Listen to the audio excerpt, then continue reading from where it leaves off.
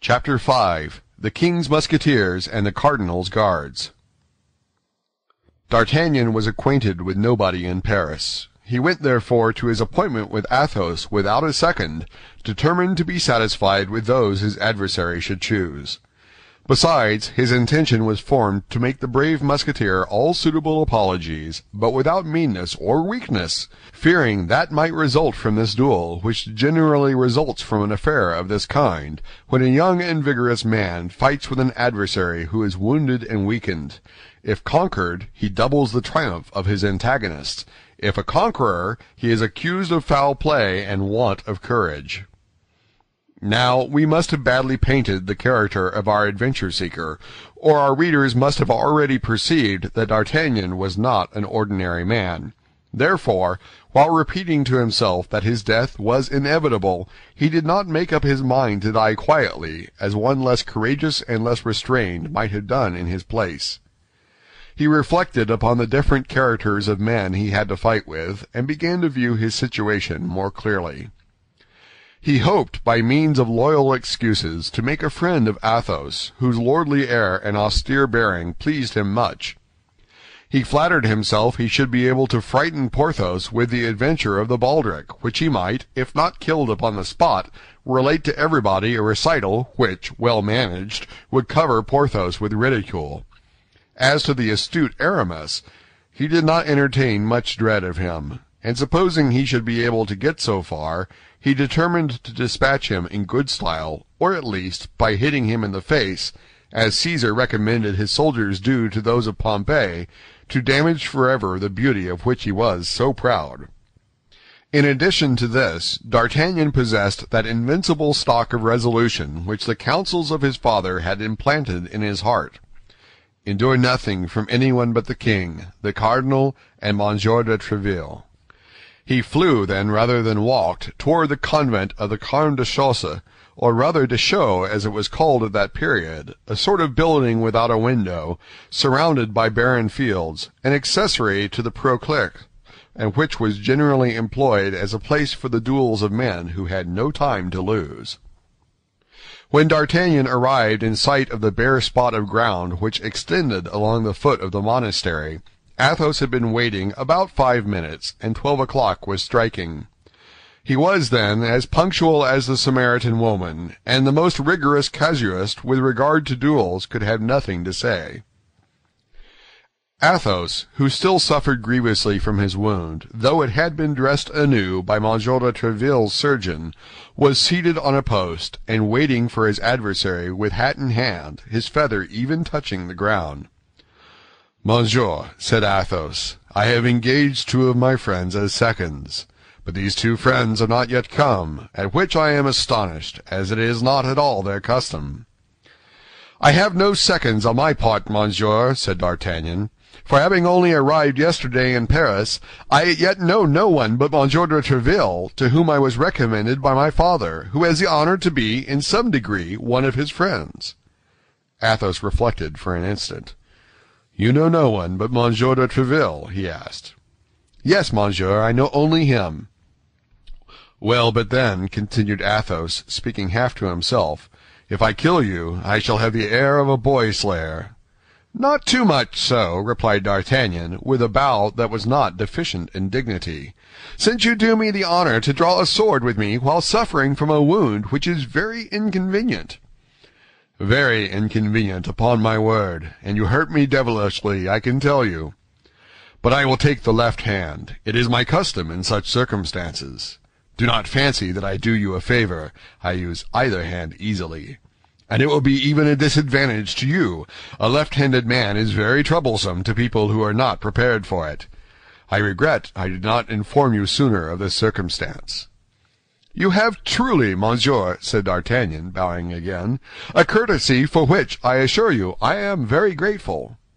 "You confuse me," replied Athos, with his gentlemanly air. "Let us talk of something else, if you please. Ah, s'blood, how you have hurt me! My shoulder quite burns." "If you would permit me," said D'Artagnan, with timidity. "What, monsieur?" I have a miraculous balsam for wounds, a balsam given to me by my mother, and of which I have made a trial upon myself." "Well?" "Well, I am sure that in less than three days this balsam would cure you. And at the end of three days, when you would be cured, well, sir, it would still do me a great honor to be your man. D'Artagnan spoke these words with a simplicity that did honor to his courtesy, without throwing the least doubt upon his courage. "Pardieu, monsieur," said Athos, "that's a proposition that pleases me. Not that I can accept it, but a league off it savors of the gentleman." Thus spoke and acted the gallant knights of the time of Charlemagne, in whom every cavalier ought to seek his model. Unfortunately, we do not live in the times of the great emperor, we live in the times of the cardinal. And three days hence, however well the secret might be guarded, it would be known, I say, that we were to fight, and our combat would be prevented. I think these fellows will never come. If you are in haste, monsieur, said D'Artagnan, with the same simplicity with which a moment before he had proposed to him to put off the duel for three days, and if it be your will to dispatch me at once, do not inconvenience yourself, I pray you. There is another word which pleases me, cried Athos, with a gracious nod to D'Artagnan.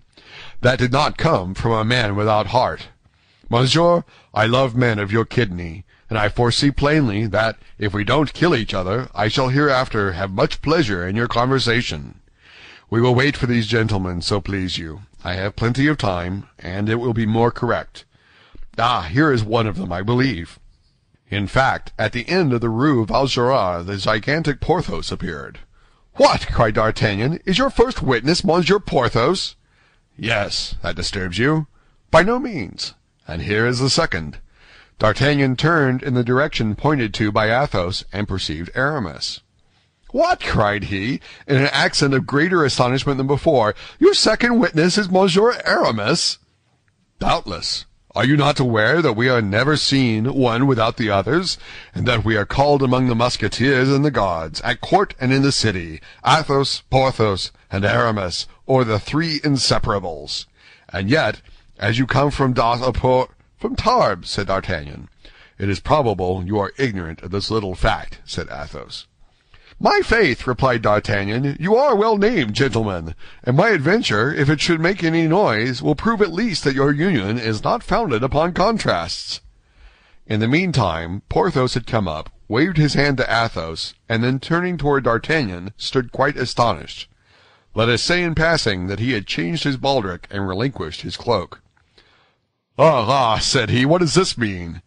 "This is the gentleman I am going to fight with," said Athos, pointing to D'Artagnan with his hand, and saluting him with the same gesture. "Why, it was with him I am also going to fight," said Porthos. "But not before one o'clock," replied D'Artagnan. "And I also am to fight with this gentleman," said Aramis, coming in his turn onto the place. "But not until two o'clock," said D'Artagnan, with the same calmness. "But what are you going to fight about, Athos?" asked Aramis.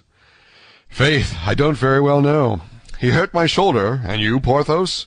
"Faith, I'm going to fight because I'm going to fight," answered Porthos, reddening. Athos, whose keen eye lost nothing, perceived a faintly sly smile pass over the lips of the young Gascon as he replied, "We had a short discussion upon dress." "And you, Aramis?" asked Athos. "Oh, ours is a theological quarrel," replied Aramis, making a sign to D'Artagnan to keep secret the cause of their duel. Athos indeed saw a second smile upon the lips of D'Artagnan. "Indeed," said Athos. "Yes, a passage of St. Augustine, upon which we could not agree," said the Gascon. "Decidedly, this is a clever fellow," murmured Athos. "And now you are assembled, gentlemen," said D'Artagnan, "permit me to offer you my apologies.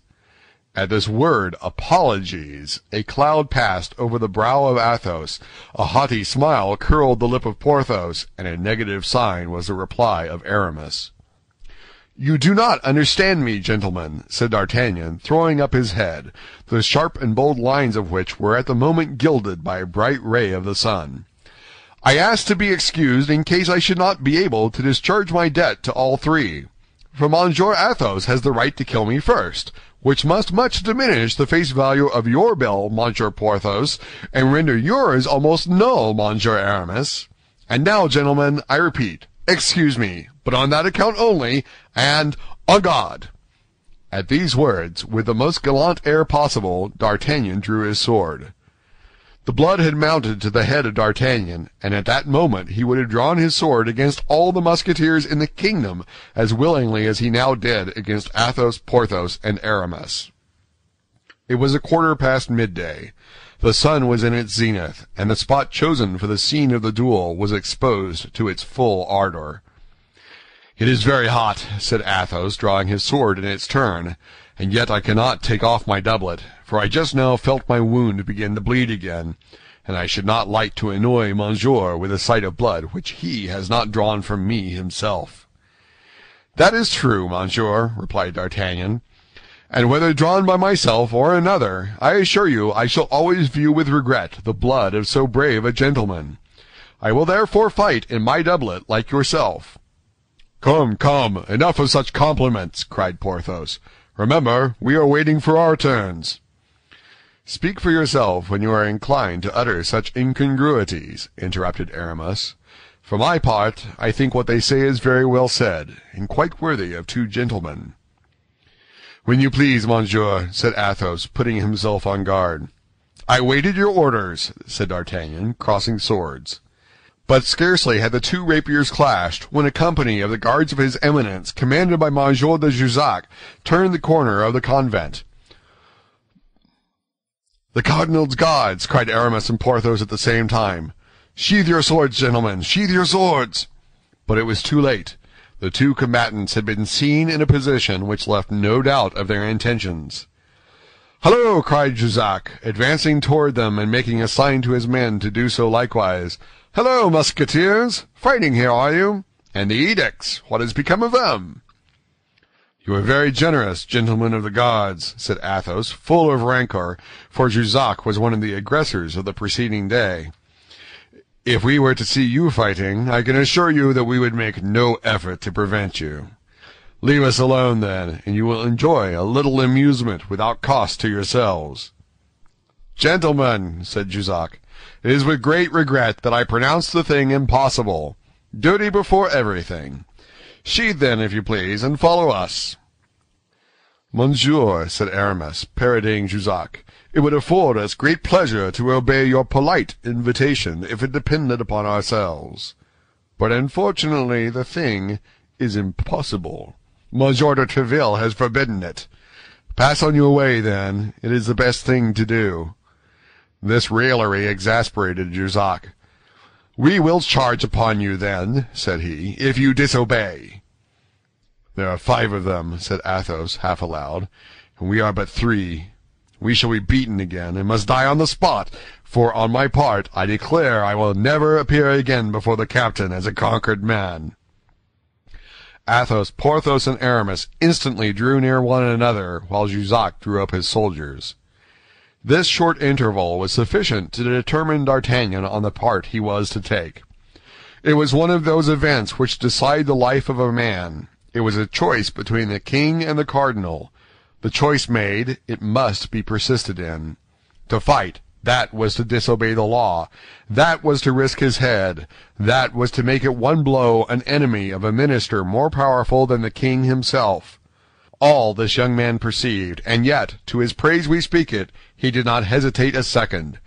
Turning toward Athos and his friends, "Gentlemen," said he, "allow me to correct your words, if you please. You said you were but three, but it appears to me we are four." "But you are not one of us," said Porthos. "That's true," replied D'Artagnan. "I have not the uniform, but I have the spirit. My heart is that of a Musketeer. I feel it, monsieur, and that impels me on." "Withdraw, young man!" cried Jussac, who doubtless by his gestures and the expression of his countenance had guessed D'Artagnan's design. "You may retire; we consent to that. Save your skin. Begone quickly." D'Artagnan did not budge. "Decidedly, you are a brave fellow," said Athos, pressing the young man's hand. "Come, come, choose your part," replied Jussac. "Well," said Porthos to Aramis, "we must do something." "Monsieur is full of generosity," said Athos. But all three reflected upon the youth of D'Artagnan and dreaded his inexperience. "We should only be three, one of whom is wounded, with the addition of a boy," resumed Athos. And yet it will not be the less said we were four men. "Yes, but to yield," said Porthos. "That is difficult," replied Athos. D'Artagnan comprehended their irresolution. "Try me, gentlemen," said he, "and I swear to you, by my honor, that I will not go hence if we are conquered." "What is your name, my brave fellow?" said Athos. "D'Artagnan, monsieur." "Well, then, Athos, Porthos, Aramis, and D'Artagnan, forward!" cried Athos. "Come, gentlemen, have you decided?" cried Jussac for the third time. "It is done, gentlemen," said Athos. "And what is your choice?" asked Jussac. "We are about to have the honor of charging you," replied Aramis, lifting his hat with one hand and drawing his sword with the other. "Ah, you resist, do you?" cried Jussac. "S'blood, does that astonish you?" And the nine combatants rushed upon each other with a fury which, however, did not exclude a certain degree of method. Athos fixed upon a certain Cahusac, a favorite of the cardinal's.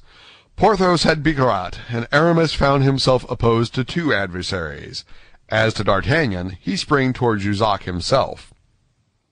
The heart of the young Gascon beat as if it would burst through his side, not from fear, God he thanked, he had not the shade of it, but with emulation. He fought like a furious tiger, turning ten times round his adversary, and changing his ground and his guard twenty times. Jussac was, as was then said, a fine blade, and had had much practice. Nevertheless, it required all his skills to defend himself against an adversary who, active and energetic, departed every instant from received rules, attacking him on all sides at once, and yet parrying like a man who had the greatest respect for his own epidermis.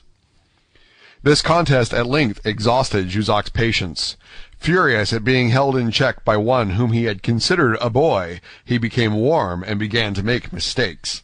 D'Artagnan, who though wanting in practice had a sound theory, redoubled his agility.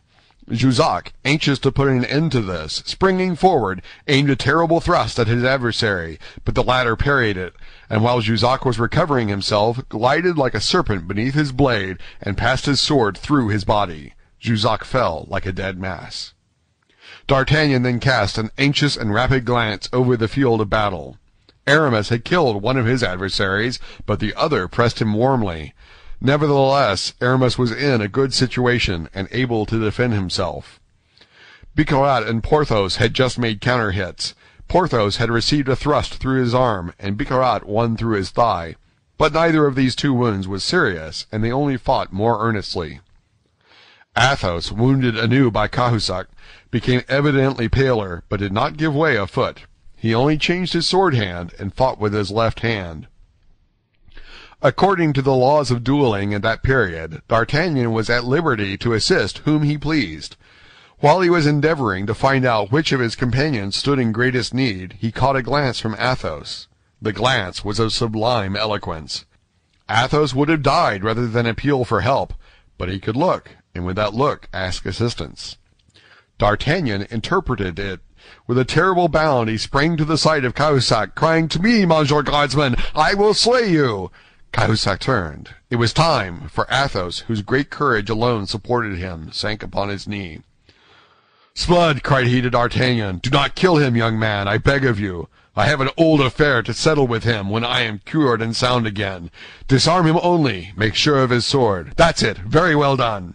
The exclamation was drawn from Athos by seeing the sword of Cahusac fly twenty paces from him. D'Artagnan and Cahusac sprang forward at the same instant, the one to recover, the other to obtain, the sword. But D'Artagnan, being the more active, reached it first and placed his foot upon it. Cahusac immediately ran to the guardsman whom Aramis had killed, seized his rapier, and returned toward D'Artagnan.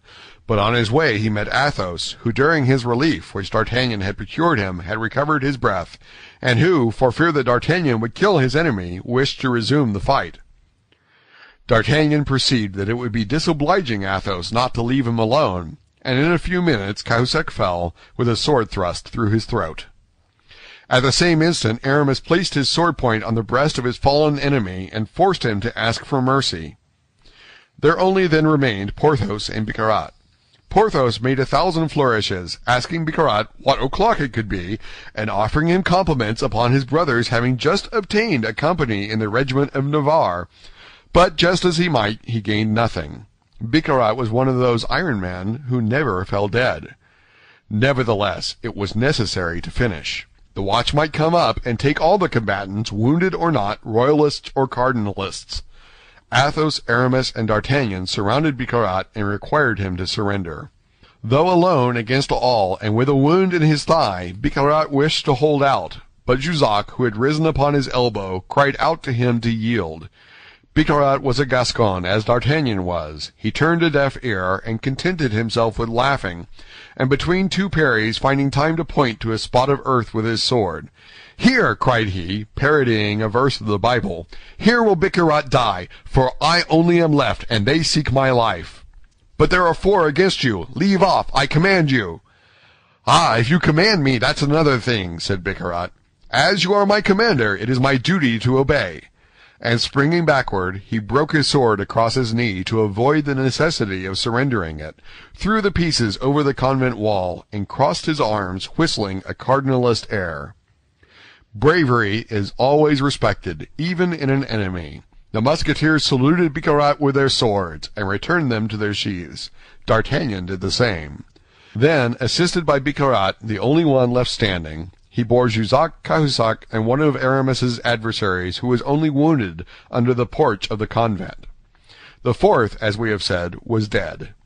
They then rang the bell, and carrying away four swords out of five, they took their road, intoxicated with joy, toward the hotel of Monsieur de Tréville.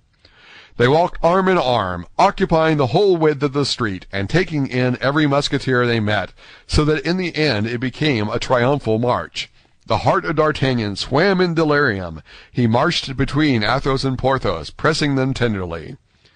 If I am not yet a musketeer, said he to his new friends, as he passed through the gateway of Monsieur de Tréville's hotel, at least I have entered upon my apprenticeship, haven't I? End of chapter 5